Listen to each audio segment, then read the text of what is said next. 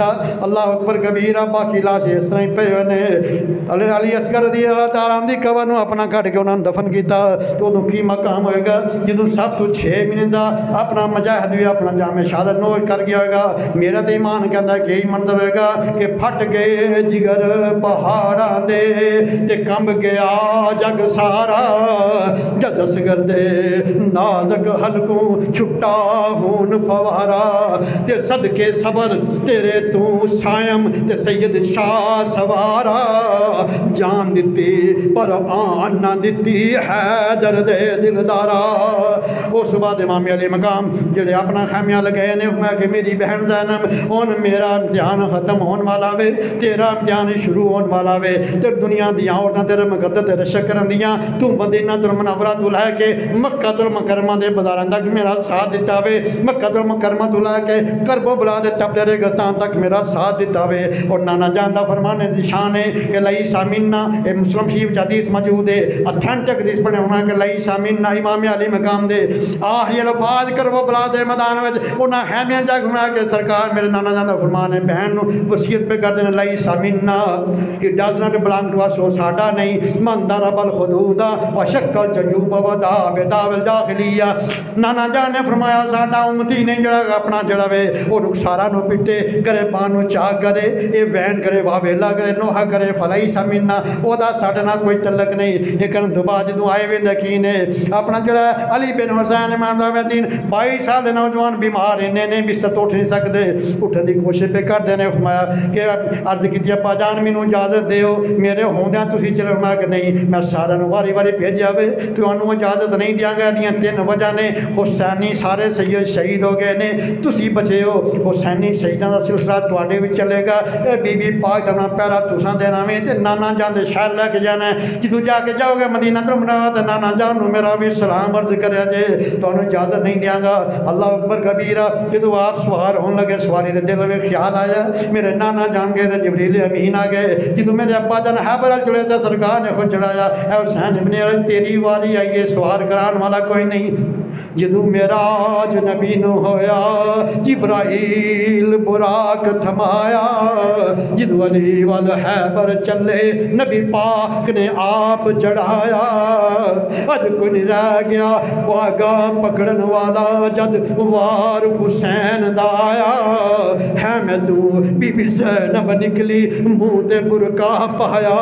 تے تھم رکاب گھوڑے دیا کھیلے بے چڑے مڑی دیا جایا اللہ اکبر کبیرہ میرے امام، جا کے تمام حجت واسے خطبہ دیتا ہوئے مایا ظالم ہو کنوں کئی شہید کر لگے ہو، جدے نانا جاندہ تسی کلمہ پڑھ دے ہو، جدے باپ جڑے نا اور دنیا روحانی پیشوا نے، جدی امی جان جڑی ہے اور جنن دی عورتیں سردار نے، جڑے ہو دو بھی جنن دے جوانا سردار نے اگو ابن سنان نے تیر چلایا، امام علی مقام دے سر تو گزر گیا، پھر امام علی مقام دی، وہ اپنا جڑی ہے شمشیر حیدری نے وہ جوش بچائی اور کئی سینکڑے کوفیہ لیوفیہ نواصل جہنم کرتے کرتے فرات تے چلے گئے جا کے پانی دا چلو بھریا لیکن پیتا نہیں دنیا نو دا دیتا کہ طاقت ہوندیاں زور نہ لایا تے بیٹھے من رضائیں پانی بعد پیاسے چلے دین دنی دے سائیں اور بائی ہزار دے سپا یزید نو انہوں لشکر نو چیر کے انہوں نے اپنا لاشاں دے ڈھیر لا کے جا کے فرات تے پہنچ گئے نے پانی دا چلو بھریا لیکن پیتا نہیں وہ دونوں شمت چلایا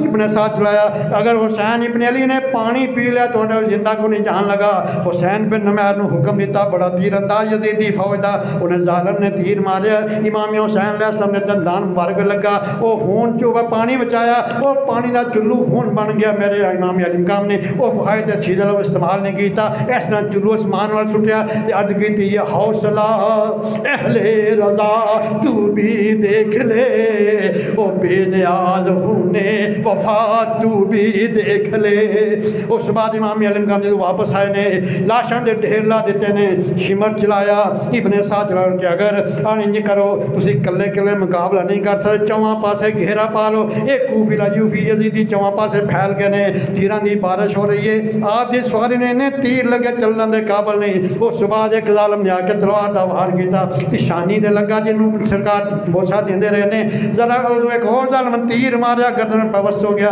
اجے وہ پہ تویر کر دینے انہا ظالم ਜ਼ਾਲਮਾਂ ਨੇ 24 ਜ਼ਖਮ ਤਲਵਾਰਾਂ ਦੇ 33 ਜ਼ਖਮ ਨੇਜ਼ਿਆਂ ਦੇ ਔਰ ਤਰ ਤੀਰਾਂ ਦੇ ਜ਼ਖਮਾਂ ਦਾ ਕੋਈ ਹਿਸਾਬ ਨਹੀਂ ਮੇਰੇ ਇਮਾਮ ਅਲੀ ਮਕਾਮ ਜੁਮੇ ਦਾ ਵਕਤ 10 ਮੁਹਰਮ 61 ਹਿਜਰੀ 10 ਅਕਤੂਬਰ 680 ਈਸਵੀ ਔਰ ਯਾਦ ਰੱਖਿਆ ਕਿਆਮਤ ਵਿੱਚ ਜਦੋਂ ਆਏਗੀ ਦਿਨ ਜੁਮੇ ਦਾ ਹੋਏਗਾ ਮਹੀਨਾ ਮੁਹਰਮ ਦਾ ਹੋਏਗਾ ਤਰੀਕ 10 ਹੋਵੇਗੀ ਇਹ ਸਰਕਾਰ ਨੇ ਦੱਸਿਆ ਲੇਕਿਨ ਸਨ ਨਹੀਂ ਦੱਸਿਆ ਅੱਲਾਹ ਅਕਬਰ ਕਬੀਰਾ ਮੇਰੇ ਇਮਾਮ ਅਲੀ ਮਕਾਮ ਜਦੋਂ ਸਵਾਰੇ ਤੋਂ ਥੱਲੇ ਆਏ ਨੇ ਬੇਦਿਲ ਹੋ ਇੰਜ ਡਿੱਗਾ ਜਿਵੇਂ ਡਿੱਗ ਪਿਆ ਫਰਕ ਕੁਰਾਨੋਂ ਬੇਅਦਬੀ ਦੀ ਹੱਦ ਹੋ یاد ہو گئی، ایک کوک اٹھی آسمانوں۔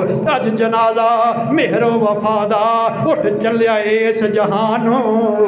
آزم صبر حسین دا ڈٹھا نہیں کیتی ہائے زبانوں۔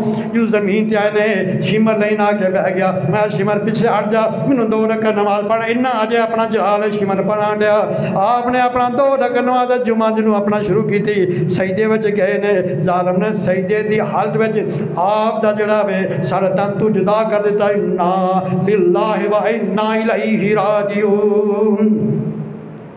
تو سامنے شام وقت مجھے آگے بڑھ نہیں دے رہا، جس کے بعد کے واقعات بھی بڑے لرزہ حیز ہیں۔ تو جو آیا مقصہ میں نے آپ کے سامنے تلاوت کی سے پڑھنا جا کر، چوتھا پارہ سورہ آل عمران کے آیت نمبر ایک سنتر ہے۔ اس میں اللہ تعالیٰ نے شہدہ کی حیات شہداء کی عظمت، شہداء کی تعظیم اور تقیر کا بیان فرمایا ہے۔ بڑے واضح الفاظ ہیں۔ میں والا تحسبن الذین قتلوا فی سبیل اللہ امواتا۔ And do not speak about those who are slain in Allah's way as dead جو اللہ کے راستے میں شہید ہو جائے انہیں مردہ خیال بھی مردہ کہنا تو بڑی دور ہے، مردہ خیال بھی جس نے خیال کیا وہ کافر ہو گیا نس قرآن ہے۔ انہیں مردہ خیال نہ کرنا والا خیال شورلی دیار لائف یہ روح اور جسم کے ساتھ زندہ ہے۔ حیات کا لفظ روح اور جسم کے مرکب کے اوپر بولا جاتا ہے۔ اگلا جملہ بڑا کریم ہے۔ ان دا ربہم یرزقون۔ Are provided with sustenance by their sustainer ان کے رب ذوالجلال طرف سے ان کو رزق دیا جاتا ہے۔ یہ یرزقون کا جو جملہ ہے نا، اس نے تمام شہداء کے حیات کے جب منکرین ان کے منہ کو بند کر دیا۔ یہ یرزقون یہ مزارے کا سی ہے۔ اگر ماضی کا ہوتا ہے تو انہوں نے کہنا دنیا میں سبھی کو رزق دیا گیا۔ آگے مزارہ کی دو قسم کا حال والا کہ مستقبل والا۔ یہ یا گیا، یہ حال والا مزارہ مستقبل والا تو رزق دیا جائے گا۔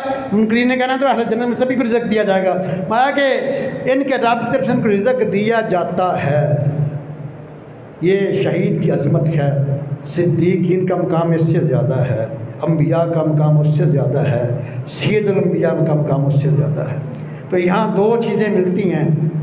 ایک، امام علی مقام نے بتا دیا کہ مصیبتوں کے پہاڑ بھی ٹوٹ جائیں، لیکن نماز نہیں جانی چاہیے۔ یا سیدہ زینب سلام علیہ نے ایک اور پیغام دیا، خواتین اسلام کو جو آج ننگے سر ننگے بازو ننگے چہرے لے کے پھرتی ہیں۔ فرمایا کہ مصیبتوں کے پہاڑ بھی ٹوٹ جائیں، لیکن شرم و حیا اور پردہ نہیں جانا چاہیے۔ امام علی مقام نے یہ پیغام دیا، آپ کا یہ کردار ہے کہ جان جاتی ہے، جائے مال جاتا ہے، جائے زر جائے، گھر جائے، مال جائے، لیکن نماز نہیں جانی چاہیے۔ اور بین نے بھی مثال قائم کی مصیبتوں کے پہاڑ ٹوٹ جائیں، سالی آل قربان ہو جائے لیکن پردے کے سے دامن نہیں چھوڑنا چاہیے۔ آج اللہ کے گھر میں بیٹھ کر، سرکار کی محل بیٹھ کر، شہدائے اہل بیت کی محل بیٹھ کرنا ہے کہ یا الہی ہم بھی اسی طرح نماز کی بھی حفاظت کریں گے اور پردے کی حفاظت کریں گے۔ وعدہ بھائی۔ یا رب مصطفیٰ استقامت کی دولت فرما، امام علی مقام کے کردار کو زندہ کرنے والا بنا۔ آمین سم آمین، وما علیہ اللہ